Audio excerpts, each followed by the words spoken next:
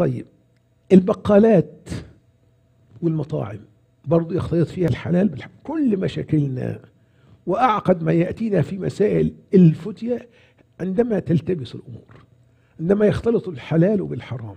هذا والله أصعب ما يواجهه المفتي في هذا البلد وهو الحلال بين والحرام بين. المشكلة في هذه المرحلة الضبابية في ذلك الوسط الغامض الذي أخذ جانبا من هذا الطرف وجانبا من الطرف المقابل له.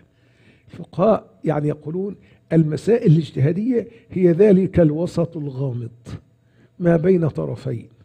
ظهر في أحدهما قصد الشارع إلى الإثبات وظهر في الآخر قصد الشارع إلى النفي وهي هذا الوسط الغامض بينهما. العمل في مجال البقالات والمطاعم.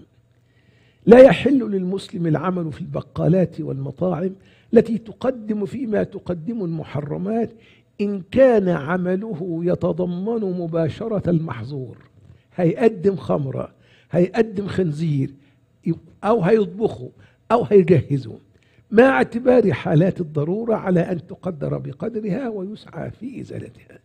فينكر بقلبه هذا العمل ويعقد عزمه على التحول عنه عند أول القدرة على ذلك ويجد في السعي للحصول على البديل المشروع. لكن يعني أعمال الحراسة والنظافة ونحوها في هذه البقالات والمطاعم مما لا يتضمن مباشرة شيء من هذه المحرمات ببيعها أو حملها أو إعدادها أو تقديمها لا حرج فيه.